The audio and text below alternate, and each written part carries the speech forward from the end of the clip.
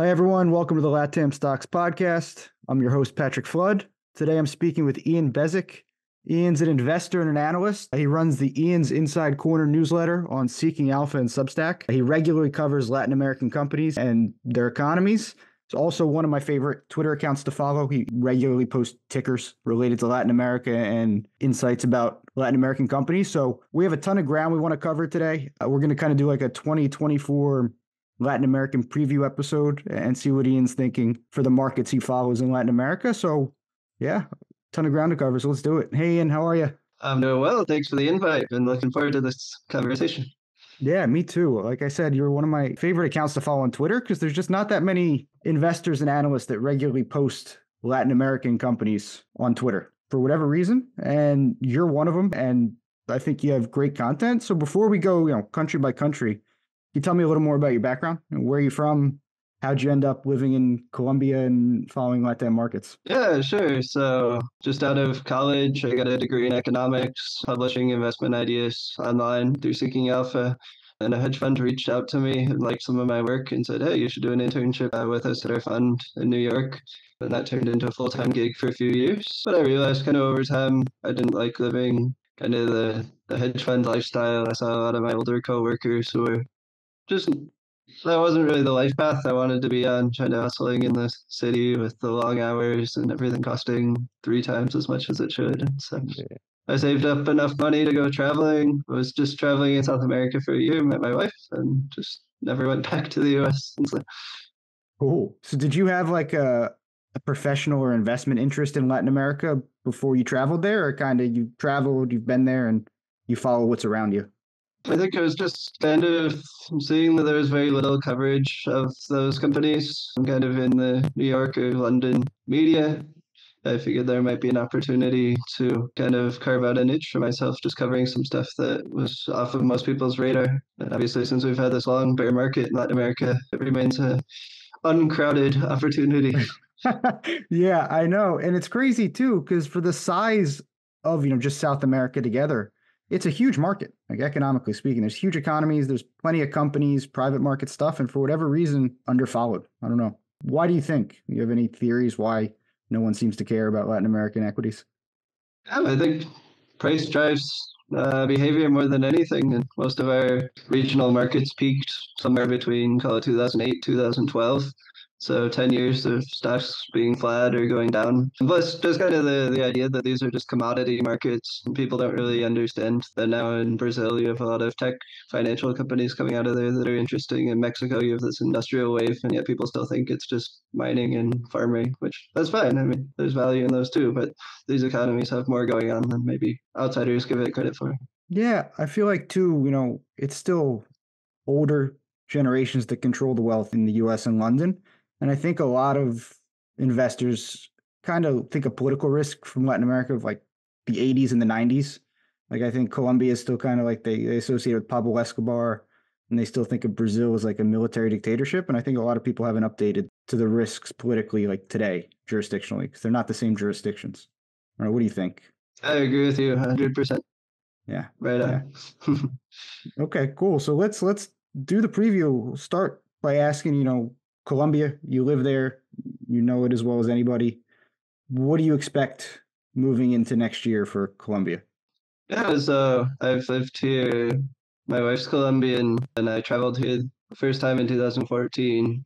Studied Spanish at a university here for while and then moved back with my wife in 2018 when we got married. So I've been here the past, was that six years now? Time flies.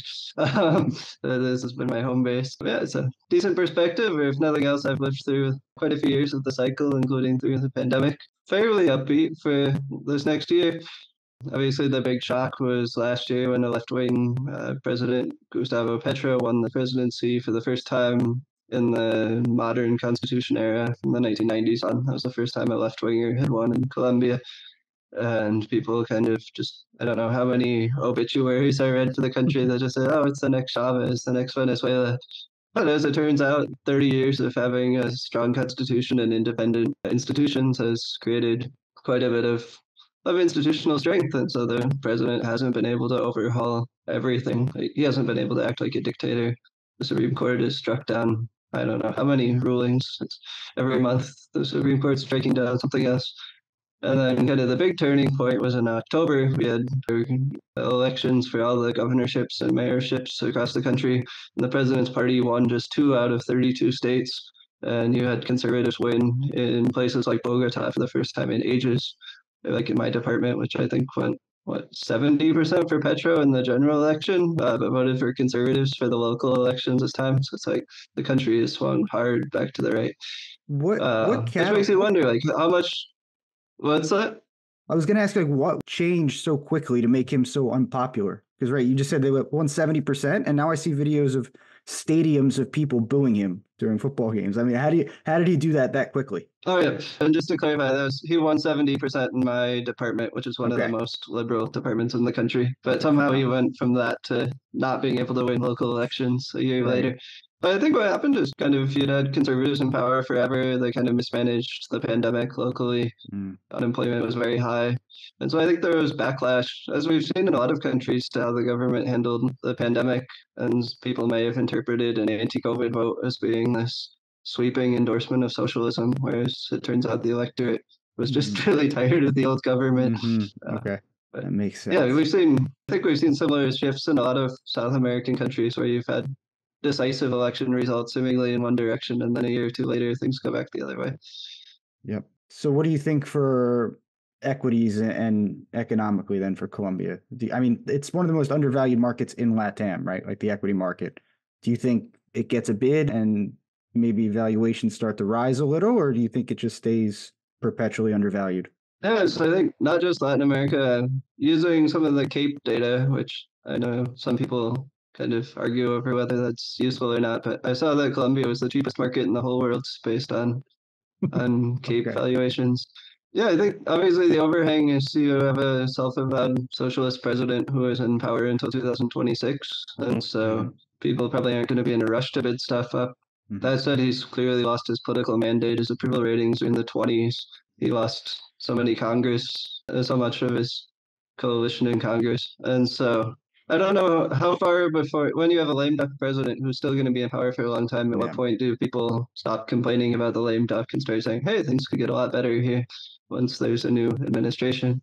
And the other major concern: oil is about half of Colombia's exports, give or take ten percent any given year, and so things look a lot better here if oil's at hundred, like it was two months ago, rather than seventy right. where it is today.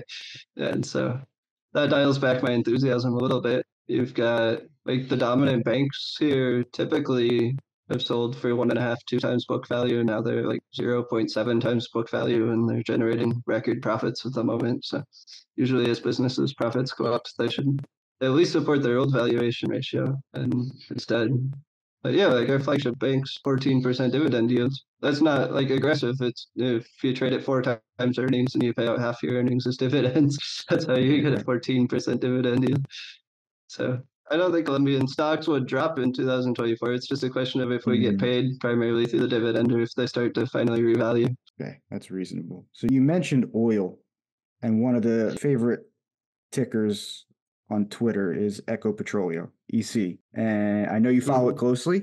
So what are your expectations for them in, you know, maybe a 70, 80 dollar barrel oil for next year? Yeah, profits will be down a little bit versus last year, just full year 2023 versus full year 2022. And then I'd assume pretty similar given where oil is now.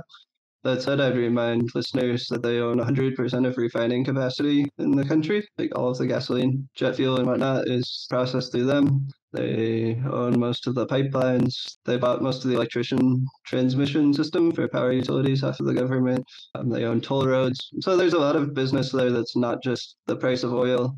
And then the actual oil part of the business barrels in the 30s. And so like would they be happier if the price is 90 rather than 70? Sure. But I think when you're paying four times earnings as your starting point and you own kind of monopoly assets, like literally 100% of the country's refining, that, that that gives you a significant margin of safety. So Petro, President Petro, uh, the socialists tried to raise the royalty taxes on oil production, but the Supreme Court struck that down as unconstitutional. So that was a nice win for shareholders recently as well. Do you have any idea why foreign investors seem so interested in the oil majors in Latin America, like EC and Petrobras, I seem to get the most engagement anything I post about them. And I'm curious if you know why. Is it just oil prices have been up, so oil companies are popular, or, or you have any theories? And YPF as well in Argentina is the most popular Argentine ticker too. So which one? Confirming uh, your idea. YPF.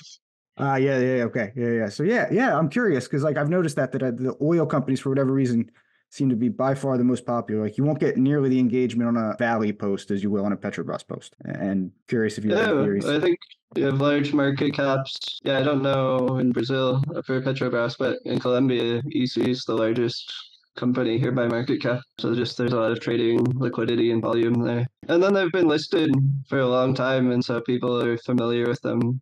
Like people that have been trading for a long time could have been trading them back in the 2000s. Like I think right. YPF in particular did very well under the first Lula government, right? So probably people have a lot of kind of muscle memory of that. True, true. So what else? Anything else worth talking about for Colombia next year before I jump to another country?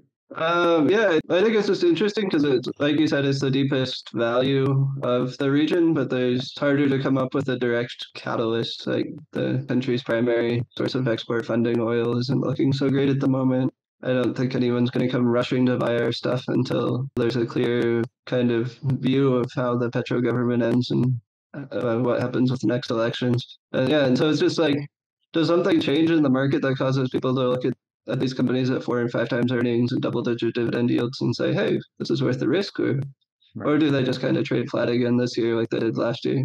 But flat might not be bad. Like Ecopetrol, I believe, is up. I believe the stock is up 10% this year, but it paid a 26% dividend. And so it actually turned out to a 40% total return this year, which if you're wanting to bet on oil and oil's flat and Ecopetrol produces a 40% return, that works out right. True. Do you think is M&A in Colombia common amongst major companies? I know this year one of the stocks I followed, multi or Grupo Nutresa.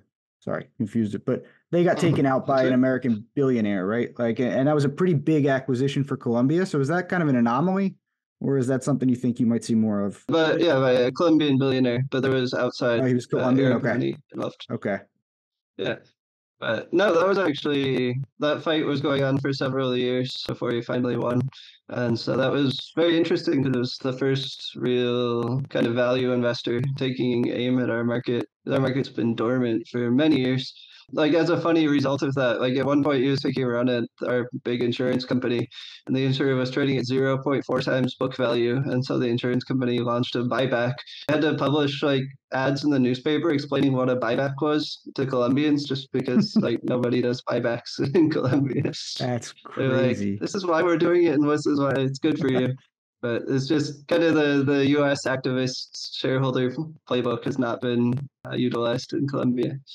And yeah, so, yeah. yeah. I don't know. Maybe we'll see more in M&A. There's a lot of large private companies that just have no interest in listing in Colombia because our stock market has been a disaster for a decade. But I don't know. Once prices go up, maybe you see more IPOs and more activity. Yeah, yeah. I think I agree. So let's jump to Mexico then. Uh, we talked on Twitter a couple months ago and we were, mentioned the election next year in Mexico. So mm-hmm. I'm curious if you have an opinion? I know you follow the election stuff pretty closely in the markets. Like, have you handicapped it at all? Do you have any idea what's going to happen next year in Mexico with the election? Yeah, I mean, looking at the polls now, the the handpicked uh, successor to AMLO is running like 20 points ahead in the polls, which is obviously not where one would want to start out an election cycle. That said, I would point out that at this point in the election cycle six years ago, AMLO was even in the polls when he ended up winning by 32. So things can move quite a bit. You just finally had them kind of settle on the last two candidates, like the field finally cleared up over this past week. Yeah, and so I think after the new year, you'll start seeing them campaign in earnest and we'll start seeing if the Conservative coalition can come up with any real opposition or not. I don't think AMLO has been terrible for stocks. I say that as someone who is my largest positioner in the airports, and he kind of gut punched mm-hmm. us last quarter. But overall, he's been friendly to manufacturing. He's been friendly to tourism. Mexico has more FDI, foreign direct investment, coming in now than ever. Mexico has overtaken China as the U.S.'s largest trade partner. I think kind of contrarian populism is not the worst politics in the world. I mean, he's not my cup of tea, but he's certainly not. You could do much worse by Latin American left wing president standards. Yeah, so Yeah, my, been- my view on Mexico is not nearly as binary left wing bad, right wing good. I think the right wing has been pretty underwhelming in Mexico. You had many years of conservative rule where the GDP hardly grew at all. Yeah, Yeah. so I don't view the election as nearly as important as probably most other people do. Yeah, I mean, what I follow most in Mexico is the mining stocks, and he's been pretty brutal on the mining industry, and they're That like is true. 30, Yeah. they're 30, 35% of like silver production, and you can't even basically can't even open a new mine. So he's been pretty brutal there too. But yeah, I don't know. I'd be curious to see. So you mentioned the FDI, and one of the big narratives I see debated is the nearshoring narrative in Mexico. Mhm. And I've seen you post a few times about it. I know you follow Mexico. So what are your thoughts? Is that happening? Where's it happening? What type of companies? Who benefits? Curious for your thoughts. You are totally right on mining, on lithium, on natural resources, and on energy. He's been very bad. That's kind of my assumption in general is that left wingers just don't invest in natural resources when you have a left wing government in power. and Yeah. so I was fortunate enough to not be involved there. But like I said, he came from my airports and they, dropped very hard and then they came back very hard. It's a different story. On FDI, yeah, I mean, I think it's very clearly happening you can look at supply chain data, for example, the Wall Street Journal ran a piece earlier this year that the number of Mexican firms that have been exporting to the US has more than doubled since the pandemic. Meanwhile, that figure's gone down sharply for China. Yeah, just the amount of new factories. I was posting them on Twitter for a while, and I figured people would be getting bored. But it was like every two or three weeks, there was some big new factory going in in Monterrey. It'd be like Hershey one week, be Procter and Gamble a few weeks after that. Obviously, they got the five billion dollar Tesla plant, which in turn should cause a lot of other like suppliers to Tesla to also want to build their like a steel company announced a two billion dollar plant, presumably to make more steel for all the new cars they'll be making there. So you get kind of these network effects, just as one or two big investors come into a region, or one or two big factories, excuse me.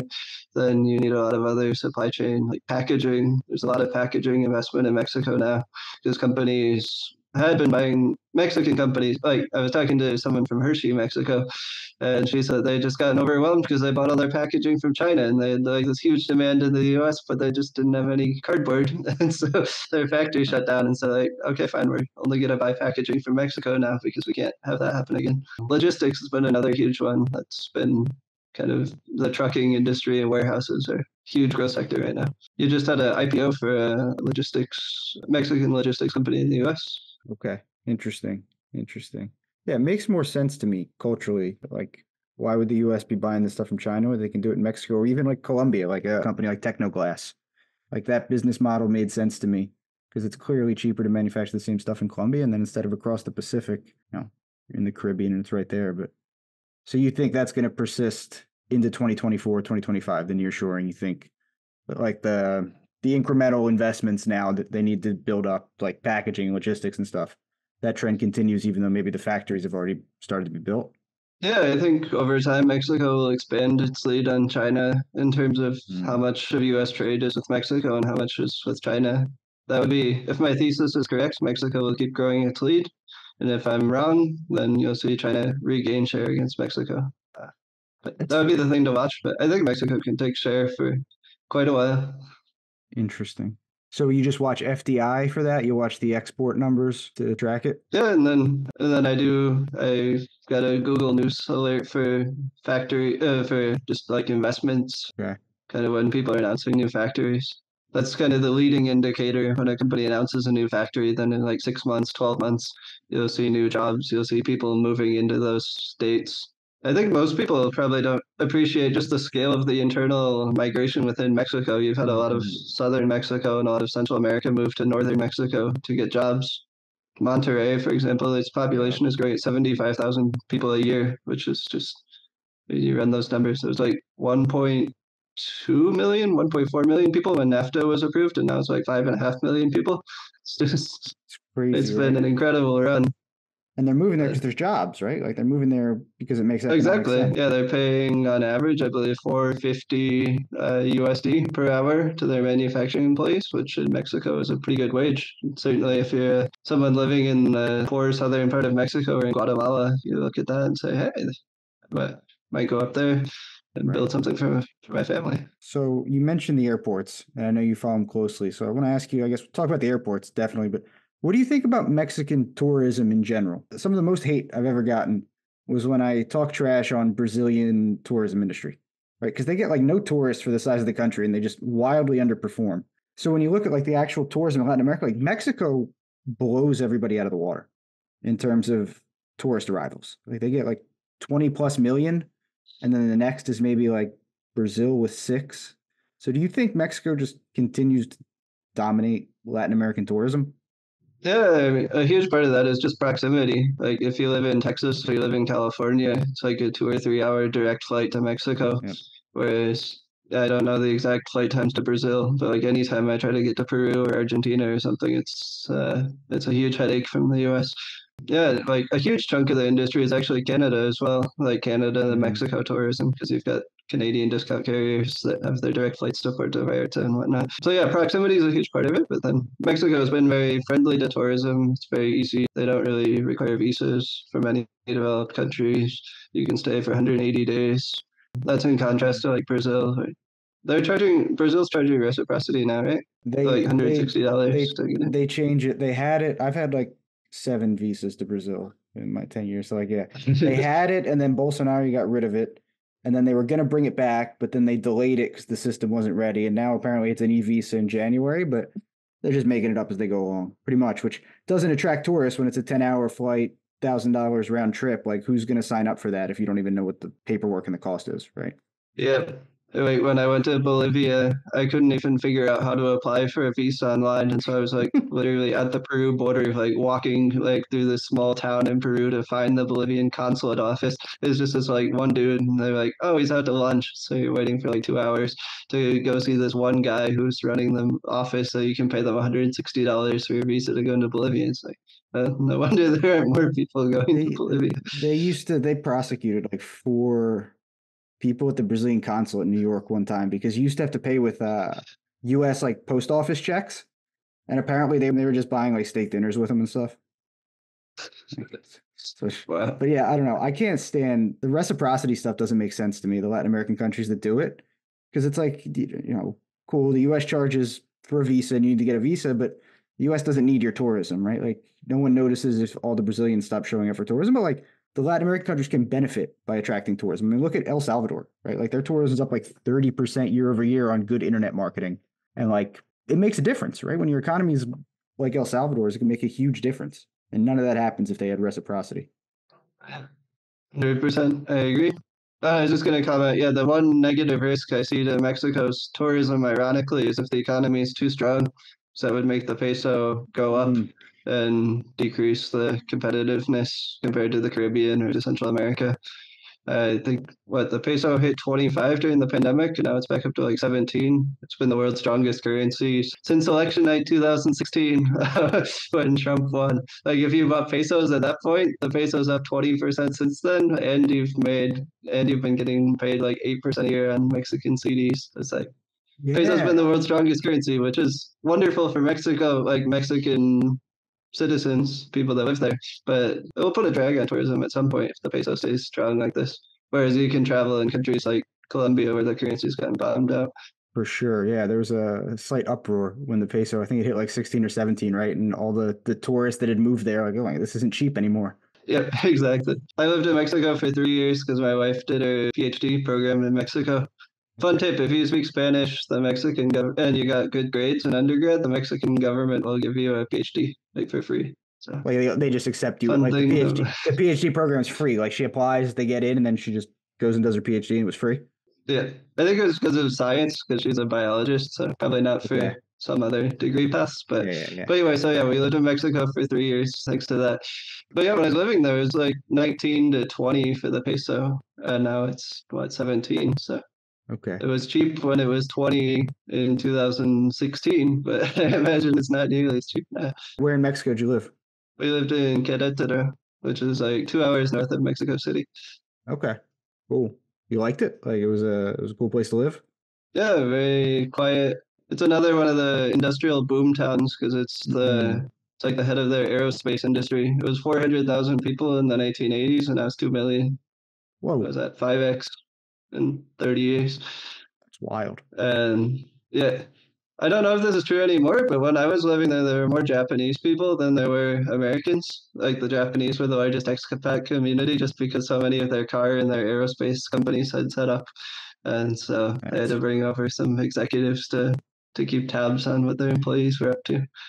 That's crazy. Yeah, I saw. But yeah, it was like you look around, there's skyscrapers, but there's like 20, 30 story buildings.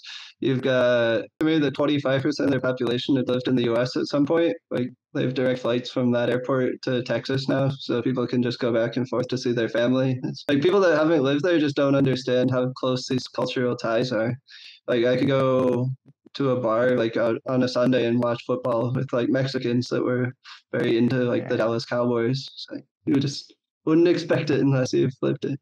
Yeah, it makes sense too, right? Like there's so many Mexicans living in the U.S. There's so much cross cultural blending or whatever you want to call and it. And I think right? helps take business from Vietnam, India, China. Like if you're like a manufacturing yeah. company and you're thinking about where to put your next plant, you already know like you have a bunch of Mexicans that work at your plant. They have strong cultural affinity for the U.S. and people travel back and forth all the time. And, and what Dallas to um, Monterrey is an hour on a plane. Like, why don't you put your plant near shoring? Like culturally, that's exactly what I meant when I was a kid. Even Mexico for sure is probably the most culturally integrated with the U.S., but just Latin American in general, I would say, has way more in common culturally with the U.S. than it does Asia right? So like eh, yeah. American companies generally do better. Argentina or, or, Colombia, right? Ecuador is dollarized already. Like I think it always kind of baffled That's me right. why why American companies were so focused on Asia when Latin America seems like a low hanging fruit. But yeah. Anyway, yeah, back to the, I think, the I was just gonna say, I think it was a, just a matter of population because you had such a large labor force available in China, Vietnam, a couple of other countries, but now kind of the wages have gone way up in China compared to where they were 30 years ago, and kind of their demographics aren't nearly as good. Like China, South Korea, kind of all those countries have very very low birth rates, and so there's just much less available labor at very low prices than there was like 30 years ago. So now people are saying, hey, if if there isn't nearly as cost competitive, so I think it's like six dollars an hour for average Chinese manufacturing labor now, whereas it was like pennies when the right. companies got there 30 years ago. And so now, if you're looking at it, you're saying, oh, it's six dollars in China, it's four dollars in Mexico, it's two fifty in Colombia. Now the math changes quite a bit. Right, and and you should be able to get it from Mexico to the U.S. cheaper than China to the U.S. too. So it's cheaper labor and should be cheaper logistics. You would think. Yeah, back to the peso though. I saw this amazing chart this morning actually, and it showed the Japanese yen carry trade for the Brazilian real and the Mexican peso and it showed it since the beginning of 2021 versus the Nasdaq, and that carry trade for those two currencies just blown the Nasdaq out of the water for three years, which it blew my mind to look at. Like I knew real rates were high in both countries, but then you see how it actually outperformed. It's been pretty crazy because usually I don't associate currency strength with Latin America, but it has been. Yeah, I think we may be entering a new era. Like I said, with Mexico's actually been the world's strongest major like tradable currency for years now, and some of the other ones have performed reasonably well. Brazil, like you said, even countries like Peru, their currencies have done fairly well since the pandemic. When you have the backdrop that you get much higher interest rates, like Mexico's bank rate is 11%, Colombia is paying 13% on deposits. And so, like, as long as the exchange rate, like, if the exchange rate is flat and you earn 13% on your deposits, you do well. And if it actually goes up, then, then you're really cooking. yeah, yeah, exactly. Back to your airports then and Mexico tourism. So, what are your expectations for the airports and tourism in general in 2024? Up, like more tourist arrivals? You think these businesses are going to do well in 2024? Are they past the government scare? I didn't follow that that closely, but I remember that they took a beating on some announcements. So, what do you think? Yeah, so just on the day we're recording this, the 14th, uh, the news came out uh, last night that the government kind of re-upped one of their contracts for Sureste, uh, ticker ASR, kind of with no changes from the last five-year agreement. And so Sureste is up like 21% today, and the other two are up 15%. So just adding that context because I don't know what time people will be listening to this. But yeah, so the scare was the government just announced that they were unilaterally changing the contracts, which whenever anytime people hear unilaterally changing contracts in Latin America, they assume like communism and all the stuff's getting stolen. but then like a few days later, like the press release comes out that's like, hey, we're we're looking at like five to eight percent changes in the contracts, which is uh, not ideal, but it's a far cry from the stocks were down forty percent just on the word unilateral changes. And then once once cooler heads prevailed, kind of people are saying, oh, this is, I guess, no big deal. As it turns out, the government gave concessions, the wrong way. The government gave some cost savings to the airports in 2020, kind of as compensation for the mm. airports being closed and for far fewer tourism, uh, far fewer tourists. So this merely rolls back their profits to where they were before they got the COVID benefits. And so I think if it had been presented as the government doesn't want you earning windfall profits from the pandemic anymore, since we're going into 2024 already. No one would have complained about that, but it's just horribly messaged by the government. Interesting. But whatever, like the leading airport group was 200 and then it fell to like 102 and today it's back to like 165. So yeah, close to the way back there. But to the other part of your question, what's my outlook for 2024? My general view is the economy slowing down. I think we're past the peak of the tourism reopening. And actually, the tourism numbers have been really weak in Mexico the past few months. Like Cancun is rolling over. So I'm more optimistic for the airports that are industrial focused. Uh, cities like Monterrey that I was talking about, where that city, I mean, just traffic is going to go up every year just because you have more people living there and you have more stuff going on there. So like the big cities, Guadalajara is growing very quickly. Be bullish on that one. But yeah, I think 2024 is kind of a return to trend year rather than kind of this boom that we've been having for the past couple of years. It's like longer term, I think through through 2030, I think the airports can grow traffic at maybe 8% a year, let's say, average. And the gross EBITDA at about 15%, because typically they, they get about $2, 2 EBITDA dollars per unit of revenue growth. So I think if you look at the starting multiples, like nine times, I believe we are at today, like 12 times earnings. You figure 15% growth after that. Numbers look pretty good. Cool. And then their balance sheets are pretty healthy. I mean, there's no like leverage risk or anything. I think they're fine for. They're all under one times debt to EBITDA. They have the highest credit rating that you can get as a Mexican company. Nice, nice. Yeah. What about what about the other? You follow any of the other airport companies? There's one in Argentina too, right? Or yeah, I own the one in Argentina, and then there's a couple more that I kind of follow, but are outside of Latin America. So, but yeah, for people that are interested, airports are kind of a global industry. They just aren't publicly traded in the U.S. for whatever reason. But there's European airports, Australia, New Zealand. If you find them interesting, they they're available, just not in the U.S. Um, but yeah, I really like the Argentinian company. It's 60% of the revenue and profits are from Argentina, and then I think 10% is Brazil, 10% is Italy, and then the other 20% is everything else. It was trading at a preposterously low valuation because people had just kind of assumed it was an Argentine business, so it wasn't worth anything. But at one point during the pandemic, you could have paid 10 times EBITDA for the Italian business and gotten the other 90% of the company for free. wow. how bad things were at one point. But yeah, I think I think the outlook is very bright now with the new government. I think you'll see them open up a lot of uh, stuff to outside investment. You'll probably have a lot more tourists coming through to check out the new operating environment there.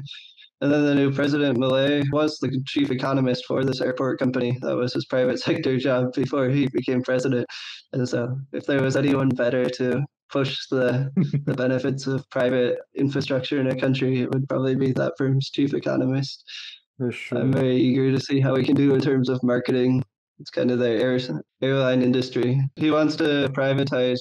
Argentina has a state-run airline that yeah, I was gonna... expensive and gives poor service. And he's already said that he's planning to privatize that, and he's going to open it up so that like the Brazilian and Colombian and whatever airlines can fly, like even domestic flights within Argentina to compete more broadly. So one would assume traffic volume should go up a lot over the next four years. Yeah, I think I saw a headline where he tried to give it to the airline union. Like he said, okay, here, just take it. That's correct. And the, the union said, we yeah. don't want this.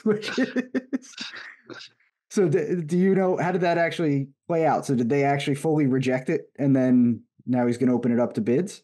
I don't think I could be wrong here, but I don't think anything's finalized yet. I think it was just okay. that was kind of a rhetorical flourish where they were complaining. It's like, if you think this is such a great business, I'd be happy to give it to you. It's like, oh no, we don't want it because it's actually worthless. Yeah, yeah, that's what I thought. Yeah, yeah, But- it's Uh, yeah, there's still not a lot of policy clarity on Milei's government just because he just took power last week. And pretty much, as you probably know, in most of Latin America, nothing happens between about now and the middle of January. Car- Carnival. Carnival. It's Carnival in Brazil. Nothing happens. So depending on after the Carnival holiday, because the five day weekend is, is when the Brazilian year starts. But uh, yeah. So what else do you think for Argentina then? I guess are you watching anything in particular, like a policy change that would would trigger interest in a certain industry for you, or is there any way you're playing it? Uh, I bought a basket of Argentine, just pretty much everything that I thought was decent quality that had a US ticker symbol back Okay. in 2020 when everything was really bombed out. People just couldn't imagine like everything's ever going right again. Like it was early in the socialist government's time there. And just prices were very, very low. And at the time I bought it, I said, I don't know when this is going to pan out, but historically Argentine equities have, have had adequate investor protections. Like you don't get wiped out during the down cycles. Like there's rule of law. And so if you buy a basket at very low prices, eventually they'll pan out. Since then, some of those are up 50%, some of those are up 300%. It's been kind of a crapshoot, but the baskets worked very well. I haven't taken any other aggressive positions. Like airport companies, ticker CAP is by far my largest position there. That's kind of my big, big exposure to Argentina. But I still have my basket that will that will appreciate if things go up. Um, to the other part of your question, what am I looking for? I think the biggest question is just how does Milei face all the opposition that he's going to have to Hmm. his economic agenda? Can he actually dollarize, or they're going to use a peg to the peso? Uh, what does he do? Like, can he actually fire all those state employees? I, I think within three to six months, we'll have a very good idea whether he can actually make most of what he's talking about happen. Like, if there's going to be radical change, shock capitalism, or if there's going to be incremental change. But yeah, it's very, from my perspective, it's very hard to predict because if he's successful, this will be kind of the biggest economic overhaul I think we've seen anywhere since maybe like Poland and Czechoslovakia in like 1992. That's kind of the model of like countries that were exiting the Soviet Union and went Yeah. like hardcore straight into capitalism. And that ultimately worked out well. But you, on the other hand, you could argue that was special circumstances, and will an Argentine electorate give Milei as much as much room to to work the system as kind of like Poland like the government had total free reign to do whatever it wanted there because people were sick of 70 years of communism, whereas I'm not sure the Argentine electorate is up for quite as much of a wild ride. Yeah. I don't know. yeah. Like I said, my degree's in economics. I'm very curious to see how this plays out. It's one of the biggest experiments we've seen in decades. Yeah, I, I was surprised he won. Like honestly, like I would have Yeah, just yeah, I would have just bet on the other guy if you asked me a year ago, was the left wing guy or the right wing guy going to win in Argentina? So the fact that he won is kind of surprising.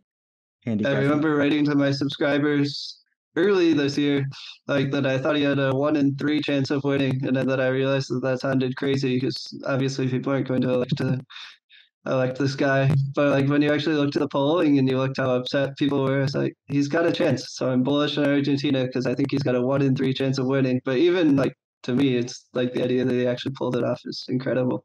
Yeah, especially after the first round. But Like, sometimes thought- the markets, yeah, uh, because he underperformed in the first round. Yeah.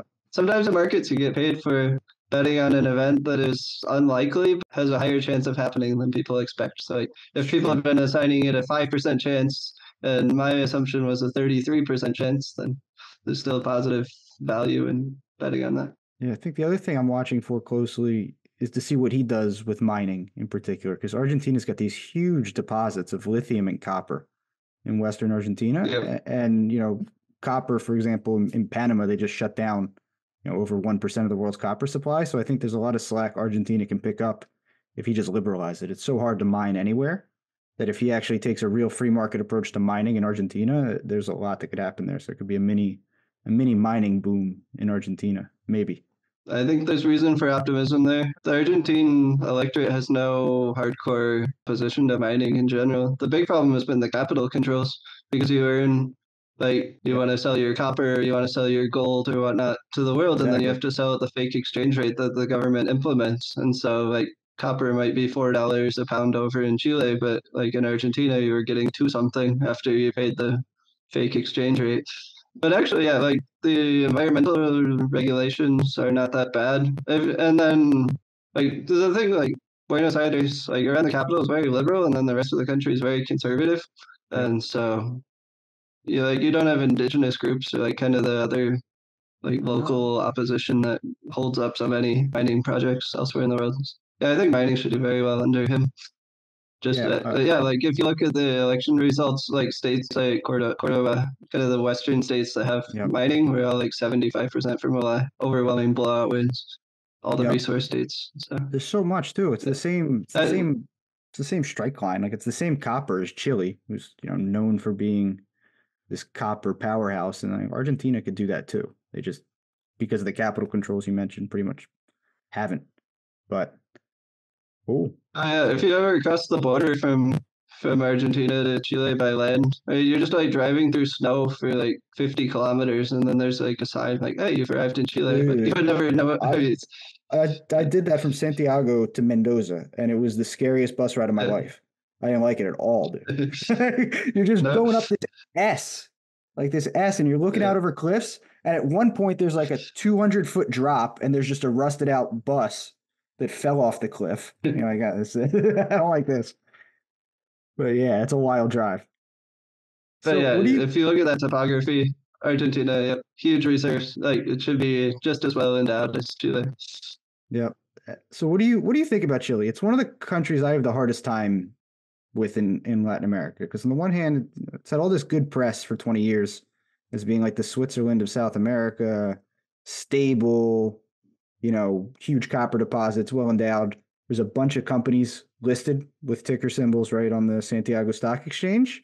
But I don't know, it just I don't know. I, I never could get there with Chile's the least risky country in South America. It just never felt that way to me. So, what do you think about Chile in general uh, as like an investment destination? Yeah, so I'll just say that it's one of the countries I've spent the least amount of time in. I think just a couple of weeks, whereas I've been most of these other places. But yeah, my my general view is they have strong institutions. They had Bachelet as president twice, who's a self-avowed socialist, and she didn't really change anything in terms of the economy or the framework for investors.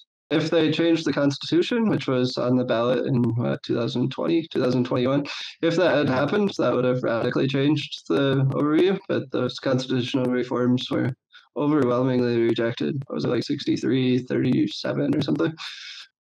Yeah, I think Chile was what the poorest country in South America before Pinochet, like 1970s. Now it's the wealthiest country, and I think a lot of voters remember that and are thankful for the amount of progress they've made under kind of a right wing framework. I think, yeah, their institutions have held up very well. By far the best rule of law, best legal protections to land, to intellectual property, all that sort of stuff. Uh, excluding countries like Uruguay that are very small, but of like the big investable countries. There's always political swings there, but I, I view more in the bucket of like Scandinavian countries where you'll have Okay. presidents that are left wing, but there's no no one's wanting to like change the underlying system. I think the difference, like like I said with Argentina, like you don't have the indigenous populations, you don't have the people that like reject modernity. Yeah, it's not like a country like Guatemala or Panama where you've just these people showing up from the, the countryside that are like, we're against all mining, burn it all Yeah, yeah, down. It's like that doesn't really exist in in the southern cone. Yeah. So, what do you think about their equity market then? Is do you look at?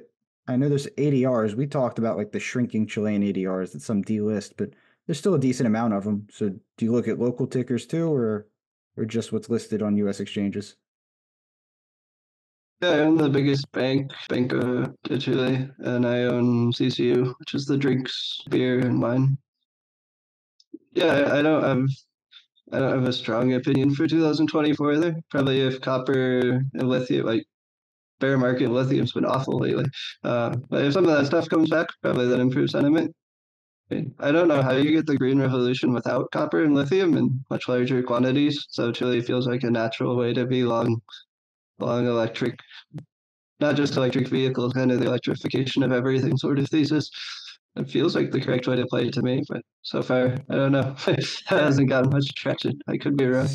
Silver too, but yeah, I don't know. Uh, the mining stocks have been brutal for me. So like I, I own them, I follow them, but I have a tough time with them. But like I own them for the same the same reasons. Like the long term thesis on the metals makes sense to me, but the shorter term on the actual mining stocks is brutal. So yeah, maybe Bank of Chile is a better way to play it instead of trying to to pick through crappy mining stocks. I just like most of the Latin American banks, they pay large portions of their earnings out as dividends. And so at least like if the stock isn't going anywhere, which they haven't been for a long time, at least you're getting back a decent chunk of capital while you wait for something to happen. I think what Chilean banks are like a seven or eight percent dividend yield. So if the stock price remains flat as it seems to usually do, at least you get some returns. Right. Yeah, Chile interests me too because I feel like the drivers of their economy are kind of unique in, in, South America. I think they're way more connected to China with their export market than that's true most of it. So I think they're kind of march a little more to the beat of their own drum than some of the other Latin countries. Yeah, they've tried to play both sides of the U.S. China. Like they wanted to be in TPP before that got killed, which was the kind of U.S. Pacific free trade partnership. But then they're also like growing trade with China very quickly. So probably smart strategic ambiguity. Whereas a country like Colombia is like hundred percent tied to the U.S. And so yeah, yeah. I mean, yeah, it was lately, like since the pandemic, Mexico and Colombia, which have bet on the U.S., have have that's been the right bet. I think longer term, you want to keep your options open. Yeah, I think that's one of the conversations around Argentina now too. Is you know where are they going to align themselves with the U.S. or with China? But it'd be interesting to see. But anything else on Chile you think is interesting to watch. I, I, guess I have down here like copper prices in China are basically what I'm looking for for Chile in 2024. But is there anything else you think is noteworthy? Yeah, I think that's probably right. I know the next election's there. I think they're. He's got another 25, maybe. That'd be interesting because yeah, never, I don't have a. Let's see, I got it. He was elected in 2021. So is it a four? Yeah, it should be 25 then. Unless something dramatically changes, the conservatives will win the oh next election there just because he's so unpopular. I was going to ask you, and Google answered my question. It's 2025 for the election, but we we mentioned that they had tried to put a new constitution in, and I thought it was still ongoing, and it is. So on December 17th, they have another constitutional plebiscite. So like they've been voting on this thing and trying to get a new constitution through. So like yeah, that was kind of one of the things that when I say like I've always felt unsure about Chile, it's like they haven't had a constitution for like three years now. It's like it's just still up in the air. So it doesn't. I guess the institutions are stable. It's a good sign it hasn't nothing crazy's happened, and they're still doing plebiscites. But I, I just thought that was interesting. Now the right wing wrote the latest proposed one because they voted down the left wing one, and so now they've now they put up another one, but which, probably which is kind of funny, right? Because I don't know if any of these are. Yeah, I don't know if any of these are ever going to get passed, or at some point they'll just give up and say, "Hey, we'll stick with the Pinochet." My un- my understanding of what kind of happened was like the left wing came in, they thought they had this huge mandate, like the post COVID stuff, which was really just a vote against the COVID regime. So they thought they were going to redo the Constitution and make it, you know, a left wing Constitution, and then it just turns out in the vote that the right wing is just going to make the Constitution even more right wing. But we'll see. Yeah, because they put up a left wing one, which would have guaranteed a lot of like social welfare programs, would have given a lot of rights to indigenous people in terms of blocking natural resource production, and a lot of very aggressively left wing stuff, and then people saw the, the actual text of that, and were like, ah, this is this is way too far. Right, right.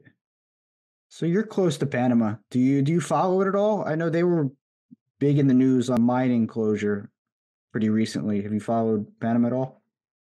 Uh, yeah, I pay attention to it. There aren't many Panamanian stocks to invest in, but I have bought just over the past month, I bought Franco Nevada, which is the gold royalty mm-hmm. streaming company, because they had, but they get 20% of their production from that mine that's now in limbo in Panama. And I believe their stock's down 30%, which probably a bit of an overreaction for a royalty model mining company. And I doubt that they lose that much long term. My understanding is now that that mine will go to international jurisdiction and Panama doesn't have any sort of case. This is just kind of ridiculously arbitrary what they did.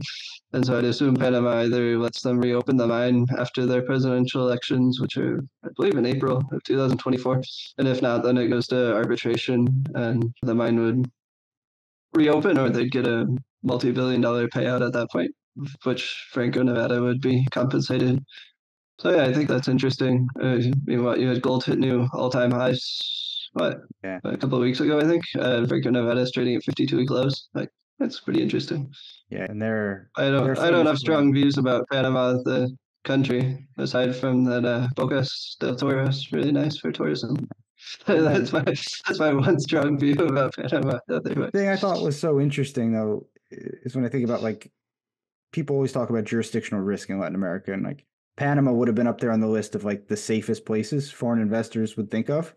Like they would never have expected out of nowhere Panama's biggest copper mine to get expropriated.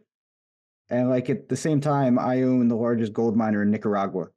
And that has been running smoothly for the years I've owned it. Like they just actually bought a Canadian project, like a major Canadian project with profits from their Nicaragua mine. And I don't know. It's just it was interesting to see that happen in Panama compared to, you know, places other investors might have expected it. and the Heritage Economic what is it? The Heritage Economic Freedom or Economic Liberty or whatever index. Panama usually ranks in the middle tier of countries, like around Mexico, Peru, and Colombia, which would mean uh, pretty surprising what they did, but it wasn't like up in Uruguay, Chile, like the, Yeah. the top tier of LATAM countries either. But I think maybe the, the strength of their banking industry gave people a sense that the country was safer than it really was. Like, why would people do all that offshore banking and all that there?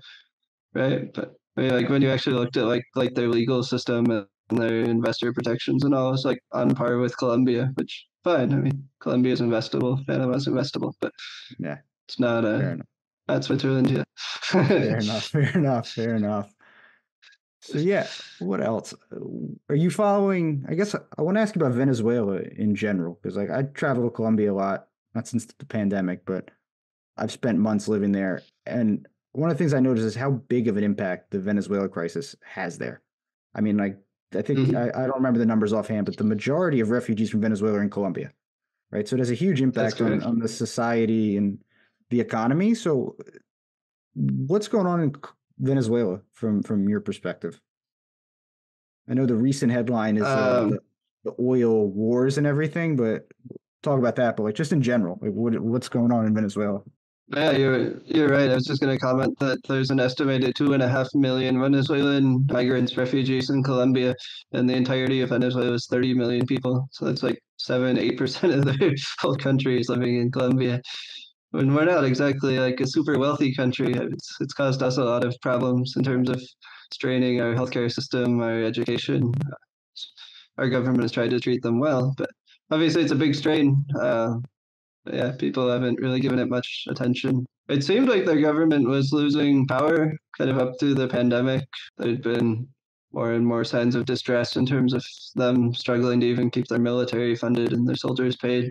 But unfortunately, I think I think their government has gotten a second a second wind since Russia's invasion of Ukraine. Kind of the U.S. and other countries had to go looking for other sources of oil, and so they've kind of lifted or they've weakened some of the the uh, embargoes. Some money's been coming into Venezuela. Um, yeah, I have no idea what will happen with Guyana. That's that's why I'm idea of a land war uh, next door. Uh, if there is a change in government in Venezuela, I think that'd be very good news for Colombian equities. Hmm. There's a couple of companies that have or had maybe past tense businesses in Venezuela, like Coca-Cola FEMSA, which is the Coke bottler, Yeah. uh, Mexican company, but they own the license for all of Venezuela. So it'll be 30 million new drinkers that come back online like day one as soon as there's a capitalist uh, economy there again. And I, th- I think there's a few opportunities like that that if Venezuela ever reopens to business, can make some money. But it hasn't reopened yet, right? Like I've seen headlines of people saying like, "Ah, buy real estate in Venezuela now." But are we there yet or no? As Americans, we're certainly not there yet because like their customs people are robbing Americans across the border. I understand some Europeans have been traveling over there, and some people seem to be having a good time, and some not so much. But I think you have to wait for I think the time to go is like in the six to twelve months when there's a new government or the transition to a new government's been announced. Okay. I've run into some wealthy Venezuelan people here in Colombia, and they're all still either in Colombia or they're in the U.S. Like nobody's gone back to Venezuela yet. I'm aware. Yeah. Like the people that actually own like houses and have have claims on assets, they're they're still in exile. Yeah, and the oil the oil headlines are I don't know. I I kind of find them ridiculous. Like I don't know what the angle is and like why Venezuela is doing that now. But the idea that they're going to go and develop these super complicated and expensive offshore pre-salt stuff in Guyana, like they're having struggles with toilet paper. Like I, I just don't see how Venezuela is going to be able to to use these oil assets even if they take control of them. Because the actual Guyana is just a jungle, right? Like there's nothing onshore that they really want. It's the offshore oil assets. Yeah, that's right. They think that owning Western Guyana will give them the control over the offshore asset and maybe try to force like Exxon and the other developers there to play ball with them. But I I don't see the West going for that. Uh, I think the US just sends some naval ships off the shore of Caracas and tells them to to get lost. Like I mean if it actually became a serious thing. Yeah. Yeah, for sure. I don't think Exxon squanders uh what Exxon's invested like twenty billion dollars, some absurd amount in Guyana already. I don't think they're just gonna let that disappear to a, Right, yeah, and Brazil- dictator. And Brazil has huge claims too, like Petrobras. They they don't want it to turn into some Wild West pirate show, right? Like Yeah. they'd rather be developing next Exxon and Shell and and make it a real oil region. But yeah, you mentioned expropriation too. One of my favorite disclosures is in the Gruma, the the Mexican tortilla manufacturer, because their Venezuelan operations actually got expropriated, and they have like an ongoing court battle for like ten years going on with like these Spanish treaties that they're invoking from like a hundred years ago to try and get the assets back. And it's just interesting talking about like the Panama situation. Like it's, it's the only disclosure, like the actual ongoing expropriation story I can think of as a point of reference. And yeah, it's been going on for like 10 years. So I guess to your Franco Nevada point, like, yeah, they might be getting paid billions of dollars, but like, I, I don't think Panama is going to be paying up anytime soon. So that's like a super long term call option, I would say. I think the difference with Panama would be that they're a country that participates in the global capital system. And in fact, if they want to keep collecting on the canal revenues, they can't really ignore judgments from, from international courts. Uh, Yeah, true. I think that's the difference. Like Venezuela has been they just Venezuela's been there's been judgments against them. Like what was it, Crystallex, one of the gold companies there had a judgment and they just were never able to collect on it. But I think Panama would It's true. would pay because they That's true too. the canal business is too important. Yeah, Interesting. Yeah, Venezuela really.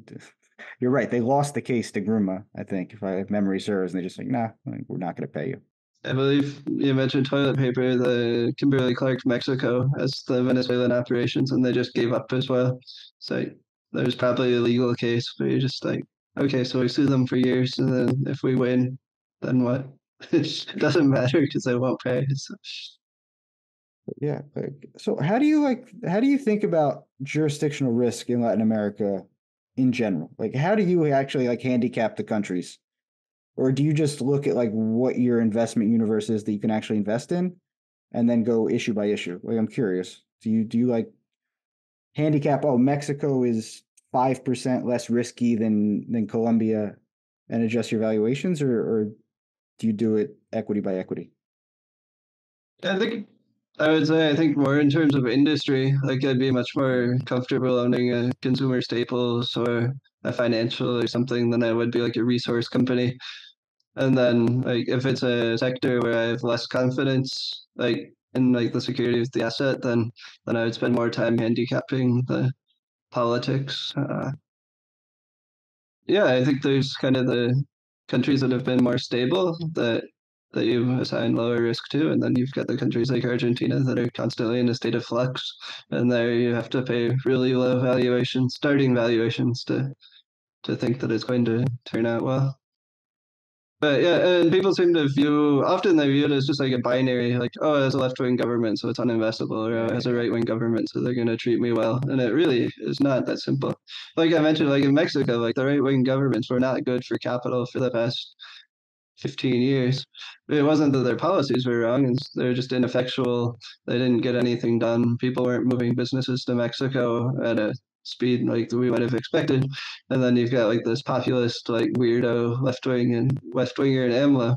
But he's out there, like he goes to the ribbon cuttings for the new factories. He's always like trying to get people to to build stuff there. It's like even if you were just looking at it on a political uh, left right whatever the axis, you would say, oh, he's worse for the investments than right, than the right. previous guys. Yeah. When you apply more more context to it. But yeah, sector by sector. Yeah, and if you're in a country with worse protections on assets, then maybe stick to the companies that are less likely to to be a political football. Cool. So yeah, I, we covered a lot of ground. Is there any other big event or something you're expecting in 2024 related to Latin America that you think we didn't cover? I'd just say broadly, I think at some point we might get picked up like um, just a factor sort of bet. You might see money start coming in uh, just because these markets have underperformed for so long now. Starting valuations are so low, but then once they start going up, I think you see a lot of momentum investors come in, a lot of people that haven't looked at these names in 15 years and say, oh, wow, these are actually like pretty good businesses at really good prices.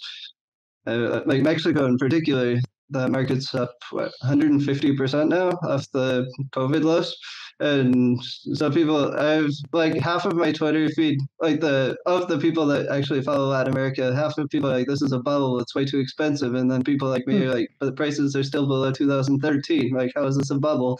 But people are like but it's already up 150% but, but then you ask yourself well could this go up 300% could this go up 500% all these markets went up 500% like in 2002 yeah. to 2008 like all these markets went way way up. And so uh, oh, Mexico's up 150%. It must be getting overbought. But it's like, how much capital out there in the world? Like, Mexico's like the 30th largest uh, market in the world by market cap. And so if you go from Mexico being the 30th largest to the 20th largest market in the world by market cap, like, how much do valuations have to go up? You yeah. Start running some pretty interesting math. And so I just say people should embrace the idea that possibly Latin America gets hot again. And I can't really tell you what the specific catalyst would be. Certainly, it's not going to be China uh, commodity super cycle like the 2003 bull market was, but at some point, money will come back because people always always go exploring cheap stuff on a long enough time horizon. And I th- I do think a lot has changed with inflation, with things since the pandemic. Obviously, supply chains in Mexico in particular. People should just embrace the idea that Latin America could be set for a good decade. Yeah, I think especially in Brazil and Mexico, which are the two bigger equity markets and better demographically, uh, larger populations, there's a financial marketing deepening domestically too, right? There's just more and more local investors that are becoming, you know, from lower middle class to middle class in their country, and they incrementally have a little bit more to invest, and they put those into domestic markets too. So I think you get that coupled with real foreign capital inflows, and then yeah, I agree with you. I think you could see multiples of of where we are now. I have a hard time seeing like the short case. You know, I can understand the investors that forget it. I don't understand Latin America. I'm going to be under allocated or I'm just not going to allocate. But I, I I'm trying to think through before we were talking, like what would be like a short case? Why would I want to short, actively short, you know, Mexico or, or Colombia or Brazil in 2024? And I, I, you know, short of like total commodity price destruction, like oil back down to like 50 a barrel and agro commodities roll over, like that would do it. But I don't have that view. So I don't know. If you were to steel man like the short Latin American 2024 case, what would it be? Yeah, I think I do think it's still driven by commodity prices, and so if you have a global recession, which China's economy is a real mess right now. A lot of Europe's not so good. So the US is outperforming, but a lot of the other global markets are pretty weak. And if you had something unexpected that caused like a capitulation in commodities, like say Russia and Ukraine made a peace deal, and so all those commodities from Russia come back in the market, I think that might be how you got paid on a short bet on emerging markets and on Latin America in particular. Is that my baseline view? No, not at all. Uh, that would be one argument.